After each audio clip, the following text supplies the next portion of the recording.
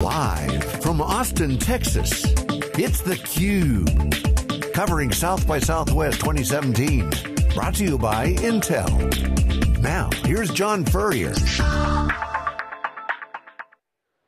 Okay, welcome back everyone. We're live here in the CUBE coverage of South by Southwest. We're at the Intel AI Lounge, hashtag Intel AI. And the theme is AI for social good, so if you really support that, go on Twitter and, and use the hashtag Intel AI and support our cause. I'm John Furrier with SiliconANGLE. I'm here with Robert Scoble at Scobleizer, um, just announcing this week the new formation of his new company, the Transformation Group. I've known Robert for over, over 12 years now, um, influencer, futurist. You've been out and about with the virtual reality, augmented reality. You're wearing the products. Yep. You've been all over the world. You were just at Mobile World Congress, been following you. You are the canary in the coal mine, poking at all the new technology. Well, the next the next five years, you're going to see some mind blowing things. In fact, just the next year, I predict that this thing is going to turn into a three ounce pair of glasses that's going to put virtual stuff on top of the world. So think about coming back to South by Southwest next year. You're wearing a couple pairs of glasses and you are going to see blue lines on the floor taking you to your next meeting or uh, TV screens up here so I can watch the cube while I walk around the streets here. It's going to be a lot of crazy stuff. So we've been on our opening segment, we talked about it, we just had a segment on social good around volunteering, but what the theme is coming out is this counterculture where there's now the humanization aspect. They yeah. call it the consumerization of IT in the past, but in the global world, the human involvement is now has these immersion, immersion experiences with technology. Yeah, and, and now it's colliding with impacting lives. Well, absolutely true. It, you know, this is a Microsoft HoloLens, first of all, and HoloLens puts virtual stuff on top of the real world. But at home, I have an HTC Vive and I have an Oculus Rift for VR, and VR is that immersive media. This is augmented reality, or what we call mixed reality, where the images are put on top of the world so I could see yep. uh, something pop off of you. In fact, last year at, uh, at South by, I met a guy who started a company called Eyefluence, and he showed me a pair of glasses, and you look at a bottle like this, and a little menu pops off the side of the bottle, tells you how much it is, tells you what's in the bottle, um, and lets you buy new versions of this bottle, like you know, a case of it, and have it shipped to my house, all with my eyes. That's coming out from Google next year. So, so the, the big thing on the immersion, the AR. I mean, you look at what's going on in societal impact. What are the things that you see? Obviously, we were seeing at Mobile World Congress the four pillars yeah. came out. Autonomous vehicles is game changing. Smart yes. cities, media and entertainment, the world that we know close to our world, and then smart home. Oh yeah. And smart home's been around for years, but autonomous vehicles truly is a societal change. Yes. I mean, the car is a data center now. It's got experiences. And there's, and there's three new startups you should pay attention to in the new cars that are coming in the next 18 months. Quanergy is one. They make a new kind of LiDAR, a new uh, sensor. In fact, there's sensors here that are sensing the world as I walk around and seeing all the surfaces, right? The car works the same way. It has to see ahead to know that there's a kid in front of your car. The car needs to stop, right? And Quanergy is making a focusable semiconductor LiDAR yeah. that's going to be one to watch. And then there's a new kind of brain, a new kind of AI coming. And uh, DeepScale is the one that I'm watching. The DeepScale brain uses a new third company called Luminar Technologies, which is making a new kind of 3D map of the world. So think about going down the street. This new map is going to know every pothole, every piece of paint, every sign, every bridge on, on the street. And it's going to, um, the, the brain, the AI, is going to compare the virtual map to the real map, to the real world, and see if there's anything new, like a kid crossing across the street, right? Then the car needs to do something and make a new decision, right? So three new startups are going to really change the car. But the reason I'm so focused on mixed reality is mixed reality is the user interface for the self-driving car, for the smart city, for the Internet of Things fields in your farm or whatnot, and for your robot, and for your drone, right? You're going to have drones that are going to know this uh, space, and you can fly it right. I've seen drones already in the R&D labs at, at, Intel. You can fly them straight at the wall. It'll stop an inch from the wall because it knows where the wall is. Because it's got the software, it's got the sensors, the Internet of Things. We are putting out a new research report at Wikibon called IoT and P. Yep. Internet Things and People. And this is the key point. I want to get your thoughts on this because you, you nailed a bunch of things, and I want you to define for the folks watching what you mean by mixed reality because this is not Yeah. augmented reality. Well, it You're talking about mixed reality. It is augmented reality. It's But just why mixed reality? we came up with a new term called mixed reality because on our we have augmented reality on phones, but the the augmented reality you have on phones, like the Pokemons that we've been talking about, they're they're not locked to the world. So when I'm wearing this, there's a, actually a shark right here uh, on this table, and it's locked on the table, and I can walk around that shark, and it seems like it's sitting here just like this bottle of water is sitting on the table, right? this is mind blowing, and now we can actually change the table itself and make it something else. Because every pixel in this space is going to be mapped by these new sensors on. So let's take that to the next level. You had mentioned earlier, you just in your in your um, in your in your talk just now about user interface to, Yeah. to cars, smart. You didn't say user interface to cars. You didn't say just smart. You said you kind of implied. I think you meant its interface to all the environments. Yes. Can you expand on your thoughts on that? You're going to be wearing glasses that look like yours in about a year, much smaller than this. This is too dorky and too big for an average consumer to wear around, right? But if they're three ounces and they look something like what you're wearing Some right nice now, Ray Bans. Yep. and they're coming. I've seen them in the R&D labs. They're coming from a variety of different companies: Google, Facebook, uh, Lumus, uh, Magic Leap. All, all sorts of different companies are coming with these lightweight, small glasses. You're going to wear them around, and it's going to lay interface elements on everything, right? So think about my watch, right? Why, if I do this gesture, why do I have to look at a little tiny screen right here? Why isn't the whole screen of my calendar pop up right here? Yeah. Right?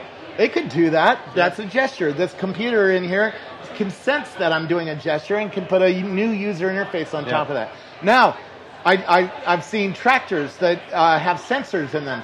Now, using a glass like this, it shows me what the pumps are doing in the tractors, right? On the glasses. I can walk around a factory floor and see the sensors in the pipes on the factory floor and see the sensors in my uh, electric motors on the factory, right? All with a one This is why the. Intel AI thing interests me. This whole theme because you what you just described requires data, right? So you, one, you need to have the data available. Yes. The data's got to be frictionless. It's got to be can't be locked in some schema, as they say in the database world. It's got to Yep. be free to be addressed by software. Yes. You need software that understands what that is, and then you need horsepower, compute power, chips to make it all happen. Yeah. Think about a new kind of TV that's coming soon. I'm going to look at a TV like this one, a physical TV, but it's too small and it's in the wrong angle. So I can just grab the image off the TV and virtually move it over here. And I'll see it, nobody else will see it, but I can put that TV screen right here so I can watch my TV the way I want to watch it, right? All right, so this is all sci-fi great stuff, which actually It's not sci-fi. It's, ship- here hold on. already. Let me, you just don't have it. Let- I have it. you did say it's kind of dorky, but I'm not going to say you're a dork because I know you. No, but it's it's too. But it's not- it's not 10 mainstream away. to mainstream America, mainstream world. Yeah. it's it's a bit sci-fi, but Yes. people are grokking this now. Certainly, the younger generation that are digital native, all are coming in post 9/11. They understand that this is a native world for them, Yes. and they take to it like a fish to water yes. us old guys, but we are the software guys, we're the tech guys. So taking it to the mainstream America, what has to happen in your mind to mainstream this stuff? We- we- obviously self-driving cars is coming. It's going to We- be we fleets first and then cars. We have to take people on a journey away from computing like this or computing like this to computing on glasses. So how do we do that? Well, you have to show deep utility, and these glasses show that. Wearing a HoloLens, I see aliens coming out of the walls, yeah. sh- blowing holes in this physical wall. Like right now? Yeah. what are you smoking? Nothing yet. But and then I can shoot them with my fingers because the virtual things are mixing with the real world. It's a mind blowing so do you, experience. do you see this being programmed by users or being a, a library of stuff? Or, Some are going to be programmed by users, like Minecraft is today on a phone or on a tablet, Right. right? Um, some are. Most of it is going to be built by developers. So there's a huge opportunity coming for developers. You're going to hear Talk about the developer angle because that's Yeah. huge. We're seeing massive uh, changes in the developer ecosystems. Certainly, open source is going to be around for a while. But what trends do you see in uh, open source? And I mean, I'm sorry, in the developer community with this new overlay of 5G connectivity, um, all this amazing cloud technology. There's a new 3D map coming, and it's a SLAM based map. So think about this space, this physical space, right? These sensors that are on the front of these new kinds of glasses that are coming out are going to sense the world in a new way and put it into a, a new kind of database, one that we can put programmatic information into.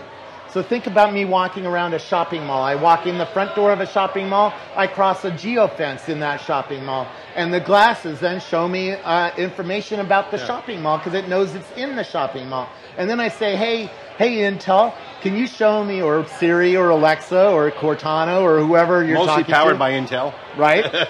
Most of it is powered by Intel because Intel's in all the data centers and all all these glasses, right? In fact, Intel is the uh, manufacturer of the of the new kind of controller that's inside this new Hololens, and when when I ask it, I can say, "Hey, where's the blue jeans in this shopping mall?" And all of a sudden, three new pairs of blue jeans will appear in the air, virtual blue jeans, and it'll say, uh, "This one's a Guess, this one's a Levi's, this one's a whatever."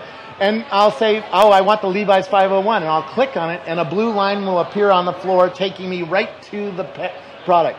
Uh, you know, uh, the shopping mall companies already have the data. They already know where the jeans are in the shopping mall, and these glasses are going to take you right to it. I'll say, Robert. So AI is the theme. It's hot. Yes. But AI is a. I mean, I love AI, and don't get me wrong. AI is a mental model in my mind for people to kind of figure out that this futuristic world's here and it's moving fast. But machine learning is a big part of what AI is Yes. becoming. So eh, machine learning is becoming automated. Talk about Well, self it's becoming a lot faster faster and available. because it used to take 70,000 images of a, something like a bottle to train the system that this is a bottle versus uh, a, a can, right? Bottle versus can. And the scientists have figured out how to make it two images now. So all I need is two images of something new to train the system that we have a bottle versus a can. And also So- the fact that compute's available. Yes. There's more and more faster processors yes. that this stuff can get crunched. The data can be crunched. Absolutely, but it's the data that trains these things, right? So let's talk about the bleeding edge of AI. I've seen uh, AIs coming out of Israel that are just mind blowing. They take a 3D image of this table, they separate everything into an object, right? So this is an object, it's separate from the table that it's on. And it then uh, lets me do AI lookups on the object. So this is a Roxanne bottle of water, right? The 3D sensor can see the logo in this bottle of water, can look to the cloud, find all sorts of information about the manufacturer here, what the product is, what, all sorts of stuff. It might even pull down a CAD drawing of like the computer that you're on, pull down a CAD drawing, overlay it on top of the real product, and now we can put videos on the back of your Macintosh or something like that, right? You can do mind blowing stuff coming soon. That's one angle. Let's talk about medical. In Israel, I went to the MRI manufacturers. They're training the MRI machines to recognize cancers. So you're going to be lying in an MRI machine, and it's going to tell you whether you, or tell the people around the machine whether you have cancer or not, and which cancer. And it's already faster than the doctor, cheaper than the doctor, and obviously doesn't need a doctor. And that's going to lead into a whole discussion. And the CRISPR, on the CRISPR thing. This is these Oh. are societal problems, by the way. This is the the policy is the issue, not the technology.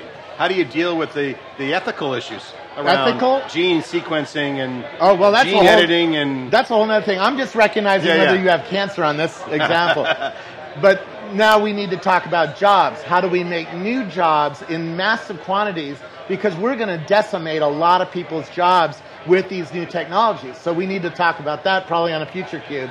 But I think Yep. mixed reality is going to create millions of jobs because think about this bottle. In the future, I'm going to be wearing a pair of glasses, and Skrillex is going to jump out of the bottle onto the table, give a performance, and then jump back into the bottle. Yeah. That's only four years away, according to the uh, to the guy who's running a new startup called 8i. He's making a new volumetric camera. It's a camera with 40 or 50. Uh, If you don't like around- Skrillex, Martin Garrix can come on. yeah, yeah, whatever you want. Uh, uh, Remember, this media is going to be personalized to your liking. Spotify is already doing that. Yeah. Do you listen to Spotify? Yeah, of course. Do you listen to the Discovery Weekly feature No. on that? You should. It's magical. It brings you the best music based on what you've already listened to, and it's personalized. So your Discovery Weekly on your phone is different than the Discovery Weekly on my phone, and that's run by AI. So these are new collaborative filters. This is all about software. Yeah, all about software. Okay, software and and a little bit of hardware because you still need to sense the world in a new way. You're going to get new watches this year that have many more sensors that are looking in your veins for Yeah. whether you have blood high blood pressure, whether you're uh, uh, in shape for running. By the way, you're going to have an artificial Yeah. coach when you go running in the morning. Running next to you, just like you Well, know, I mean- when you see Mark Zuckerberg, he can afford to pay a real coach. I can't, right? so he has a real coach running with him every morning and uh, and saying, "Hey, we're going to do some interval training today. We're going to do some sprints, you know, to get your cardio up." Well, now the glasses are going to do that for you. Yeah. It's going to say, "Hey, let's do some intervals a today." running bot. And you're going to wear the watch that's going to sense your uh, blood pressure and your and your heart rate, and the artificial coach running next to you, and that's only two years away. Yeah.